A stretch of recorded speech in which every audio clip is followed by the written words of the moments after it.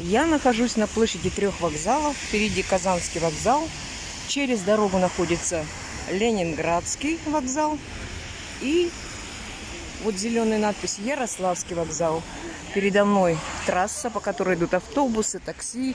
Очень много народу. Погода минус 2. Небо пасмурное, как обычно. Снежок немножко падает. Минус 2 градуса.